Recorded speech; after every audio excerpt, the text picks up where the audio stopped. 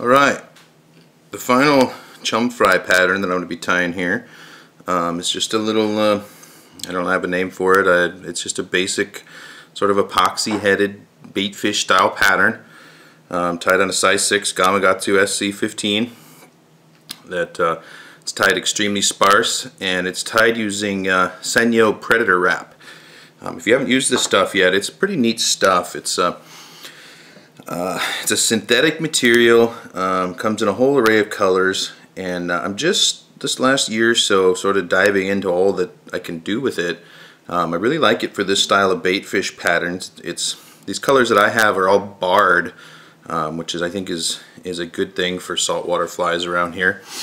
I'm going to be tying this one with the uh, olive and black barred Senyo Predator wrap. I don't know how well you can see that, but it's a comes within these cards with the the materials attached to a piece of you know string here, and you just cut off what you want. It's about oh four inches in length, three and a half, four inches in length. Uh, anyway, it's really neat stuff. Uh, I highly recommend picking some up and trying to see what you can come up with with it. Uh, I use it a lot for these style of flies, and it's just I just like the way it looks. This is a real basic pattern. Um, I haven't tied one of these in about a year, so you're to have to bear with me. Uh, the, the, the, epoxy and, and this is the only semi-difficult part. So uh, start with, I'm to, just got some olive 6-aught uni thread, laying down a little thread base. I'm not going back very far with my thread base because uh, most of the, you know, the, the materials are tied in at the front of the hook on this style of fly. Uh, there's no need to kind of work it all the way back. First up I'm just going to take a few strands of white bucktail and when I say a few strands I mean a few strands. Uh, and really the only reason that I use this uh, I like to have a little bit of white somebody is blowing up my phone I like to have a little bit of white underneath to sort of represent a belly, but also the little bit stiffer bucktail below the, the, the predator wrap seems to help prevent fouling issues. Um, with this style of fly, if you end up tying it a little too long, it can often, uh, the materials, especially a limper material, will, uh, while in the water under retrieve, can get kind of wrapped up around the hook and fouled up. So uh, we don't want that. So I'm using like not very much bucktail here. It's just a very, very little bit, you know. It's like probably eight or ten little hairs. That's it.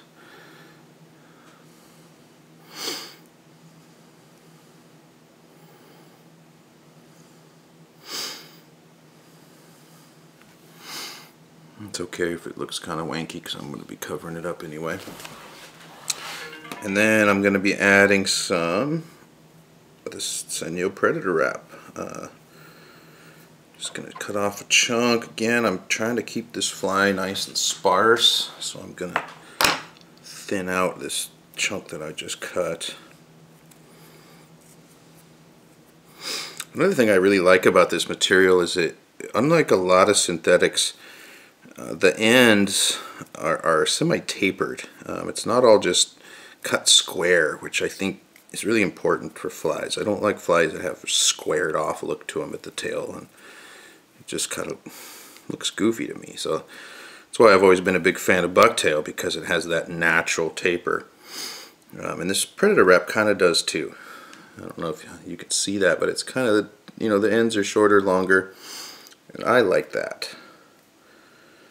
So I'm going to have tying this next right on top and I'm going to make it just slightly longer than the bucktail. Not much. Uh, just a little bit longer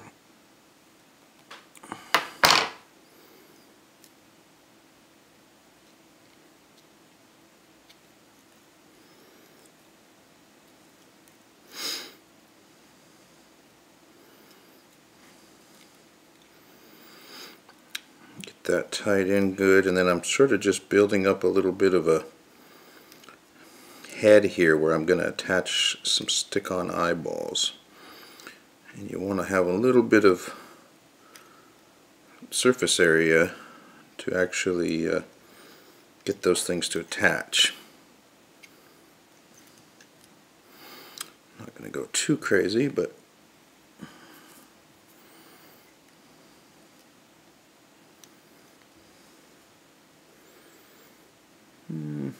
that's good enough. Okay, at this point I'm going to whip finish this because I'm going to be using some uh, stick-on eyes and some uh, UV resin to uh, build up a little bit of a head. And this is really the only semi-difficult part. And with my fat fingers, it's one that I can sometimes struggle with. Um, I'm using these little I don't know what they are, 1 8 inch maybe, just red eyeballs. I long ago got rid of the package so I don't actually know what these are, otherwise I would tell you. And you just got to kind of stick them on here as best you can. They don't, they're not super adhesive, so they like to move around and uh, you just kind of got to play with it a little bit and get it about where you want it. Now for the resin I'm using uh, Clear Cure Goo Thin. Um, honestly this probably isn't the best stuff on the market. There's there's newer products that are a lot better. Um, one thing about this stuff is that it, it doesn't dry. It, when it dries it still remains tacky and uh, so I, I have to go over it with a I've been using the Clear Cure Goo Hydro. And I'm just going to put a little dollop of this with a toothpick. And I'm just trying to get enough because I want to uh, I want to get the eyes secured first. That's my biggest concern. And then I'll worry about kind of shaping everything. And As far as the consistency goes, I, I actually really enjoy this Clear Cure Thin, I just uh, I hate having to go over it with another product to make it you know so it just comes out tack free. That's kind of hokey if you ask me. So I'm using a toothpick here just to kind of I don't want to have a huge bulkiness here. I, I just want a nice little rounded shaped head.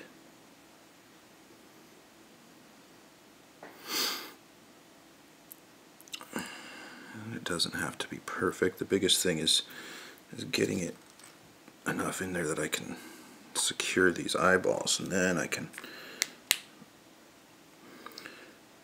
this light that I'm using has seen better days as well. It's the original Clear Cure light that came with the kit and like I said, since this stuff came on the market however many years ago, there's been a bunch of improvements and um, my buddy was just telling me about the there's some new Loon UV cure that he said is just fantastic.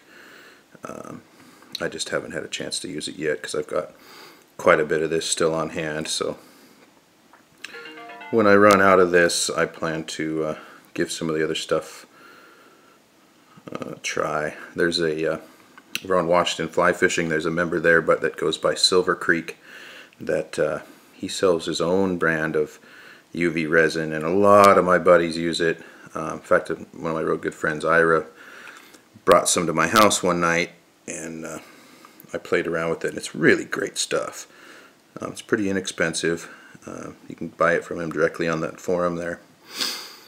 Great stuff, but uh, since I tie a lot of bigger saltwater flies uh, for rockfish and lingcod and things where I use epoxy heads and um, I like the thicker material that, that the Clear Cure Goo has.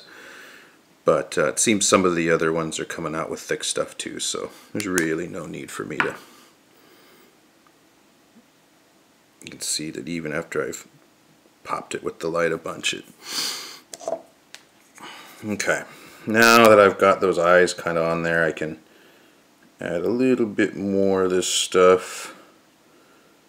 I like to just sort of put some blob on there and then I'll take a toothpick and sort of shape it all out the way I want it. Where'd my toothpick go? And don't be afraid to kind of run some of this stuff up the body a little bit.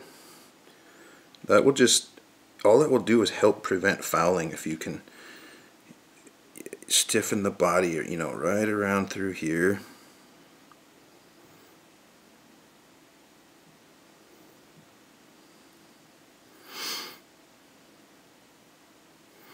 And you can spend, you know, as much time and energy as you want shaping these heads and, and making them look just absolutely perfect. If you haven't figured out by now, that's not me. I'm just want this to be the main thing is to protect these eyes so they don't just get shredded and give it a little bit of a, a head, you know. Um, I think I'm just going to run a little bit more up the body.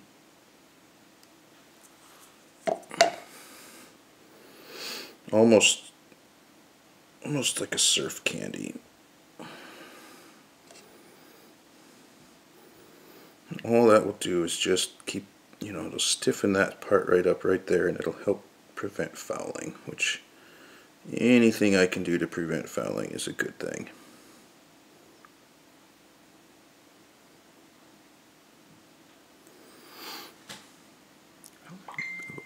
Bulge right there that I don't like.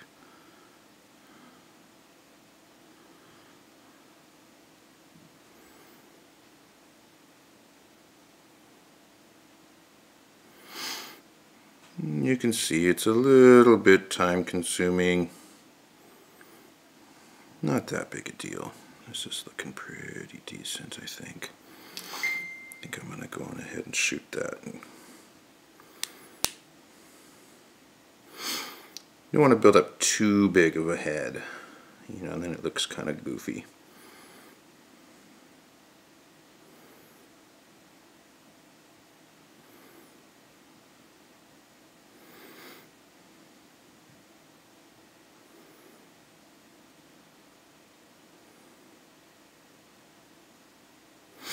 I'm shooting this a little bit longer than most people would need to because my light is it probably needs fresh batteries, but this light is about, I don't know, five years old or something, and it's definitely lost something along the way, so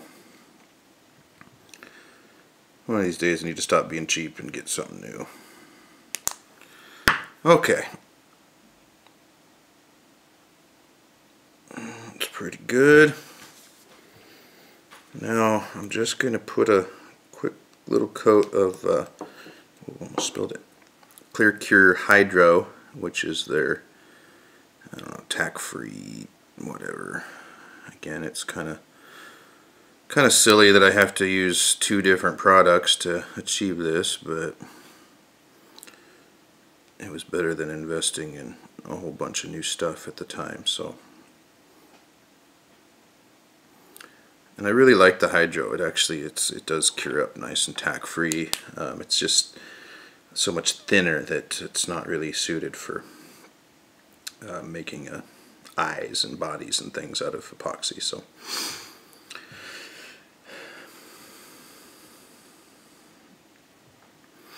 Anyway, this is about it.